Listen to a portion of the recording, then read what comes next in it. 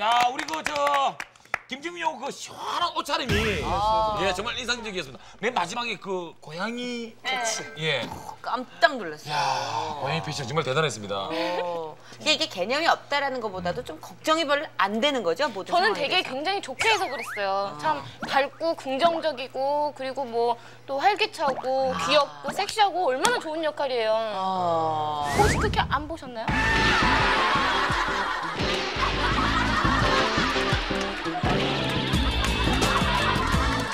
귀엽게 잘 소화해.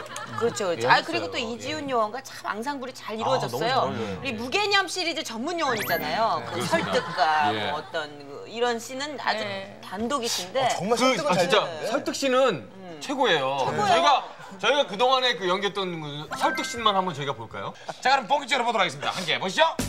여기는 회사야 동아리랑 다르다고 나야 하나뿐이야 부임이니까 자네랑 그 친해지려고 하는 얘기 잘 지내보려고 어? 정말 곤란하게 만들어도 되겠어? 미안해.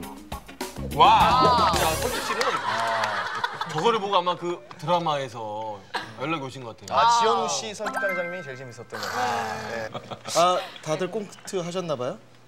아니요 저희는 안 나오셨나요?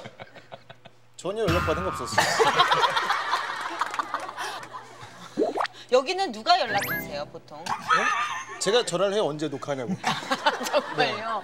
이세윤 씨가 역할이 없었으면 저희가 깜빡했네요. 저희 고양이 꼬리라도 시켜드릴 거예요. 그냥 그냥 검은천 뒤집어 쓰고 계속 매달려 있는 거야. 정민양 뒤에만 이렇게 꽂혀 있으면 되잖아요. 네. 저기요.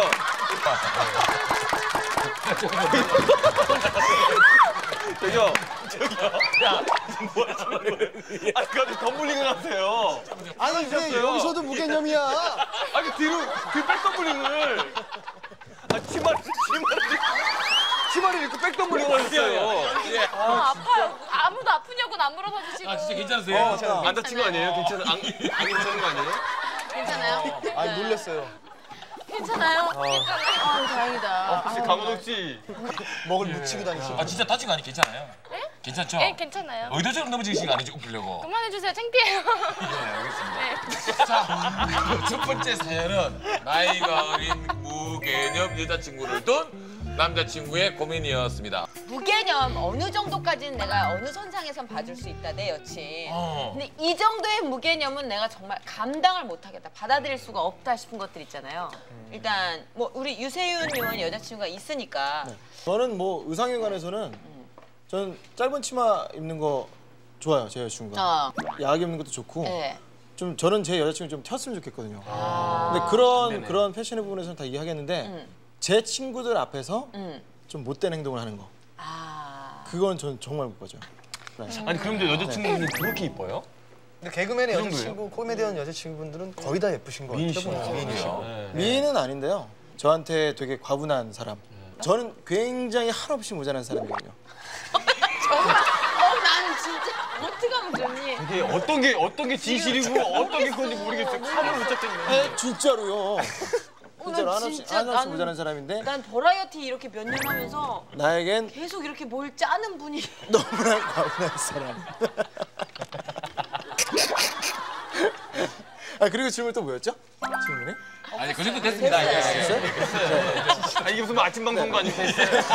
김정한 씨 같은 경우는 내 여자친구 이것만큼은 진짜 못 봐주겠다. 이것만큼은 아, 절대 양보를 할 수 없다는 게 있어요. 제 음? 철칙이 있는데. 다른 곳에 뭐제 친구들이나 뭐 동료들이나 이런 자리에는 같이 이렇게 합석하거나 같이 가서 어울리는 건 굉장히 좋아하는데 음. 아, 남자들만의 세계, 아, 클럽을 간다든지 아, 뭔가 또 새로운 세계를 갈 때 꼭 같이 꼭 가자 그래요.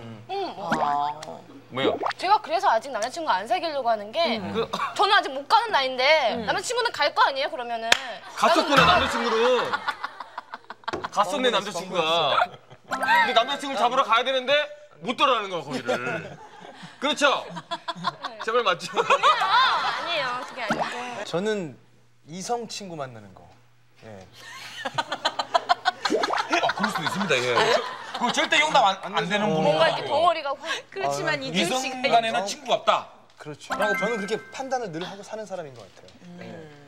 그래서 남녀는 우정이 없다 그렇게 생각을 합니다. 가끔은 이제 연락하는 친구들 만나러 간다고 하면은 이게 저를 이제 떼놓고 나가는 경우들도 가끔 있잖아요. 그럴 때는 꼭 그런 이성 친구들이 같이 함께하는 자리더라고요. 싫죠. 근데 어느 날은 덜미가 이렇게 잡히더라고요. 친구라고 생각하고 만났었는데 시간이 점차 점차 흐르다 보니까 그게 이성이 교제가 이제 사랑으로 변할 수도 있다. 확실히 저희 프로그램이 이 실화극장 맞아요. 네. 그렇다. 아니 근데 나는 와닿는다. 또. 지훈 씨 말씀을 하시는데 이해가 안 되는 게 뭔지 알겠다. 지금 실화 처음 느끼시잖아요. 이지훈 씨 정도면 대한민국의 완소남 아닙니까? 근데 여자분들 달라요. 중에서요 하나로 부족한 분들이 또 있어요, 진짜로. 있을 때 또 챙기시는 분들이 있어요. 꼭. 아, 그냥 뭐 잘났던 못 났던 완벽하던 아, 그냥 뭔지 알겠다. 한 사람으로는 안 된다. 나의 예. 사랑이 완전 안 된다는 여유로워. 거예요. 킵이죠, 킵. 킵. 나는 킵을 해놔야 된다. 제가 아는 굉장히 예쁜 언니도 그래요. 야 왜 같은 시간에 효율적으로 여러 사람 만날 수 있는데 왜 한 사람밖에 안 만나려고 해? 이런 이 얘기를 교제에. 대한 개념이 틀리신 분들이 있더라고요. 진짜? 아, 일단 1대1보다는 이렇게 다수를 굉장히 만나요. 다수를 공평하게 네. 그런 분들은 아프리카 가서 사, 사셔야죠. 근데 잘 어울려. 부족이나 이런 데. 세렝게티, 세렝게티. 그렇죠, 그렇죠. 네, 일체 다부제. 뭐 아, 별다른 뭐 규제 없이 그냥 예. 주장 하나만 바라보고 사는 거. 그런 곳에 가셔야죠. 괜찮지 않습니까? 예, 자연과 별다른 함께. 규제 없이 자연과 함께. 예, 이렇게 거친 것도 별로 이렇게 간소하게, 간소하게 옷도 간소하게 입고 뛰어다니셔야죠. 손 붙잡고.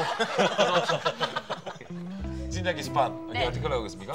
여자친구에게 딱 꼬집어서 이런 점을 고쳤으면 좋겠다라고 말하고 서로 이렇게 조금씩 맞춰가면서 그렇게 사귀는 게 좋겠다고 그런 의견들이 많았습니다. 네. 지적을 하는. 네. 자, 신영은요? 뭐 굳이 고칠 필요가 있을까요? 그 어리고 예쁜 여자친구를 만나려면 그 정도는 감수해야 된다는 게 남자 연들의 정말 솔직한 다수 의견이 있었습니다. 자, 이제 어, 또 이제 상황을 뒤로 하고 이제 여러분들이 또 어, 기다리고 계시는 저희들이 또 도사집을 또 찾으러 가야 됩니다. 떠나실 시간 있잖아요. 예.